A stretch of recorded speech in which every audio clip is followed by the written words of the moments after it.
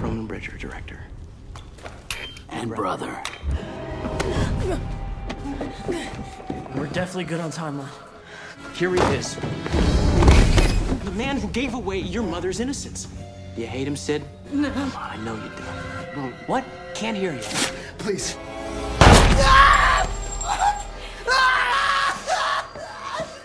No, no. No, Sid, that would be you. Shoulder me, shoulder me, shoulder me, get it up! All the kid needed was a few pointers. How could you do this? For the mother, and for the family, and for the stardom, and God damn it, everything you had that should have been mine! Not bad, cute boy.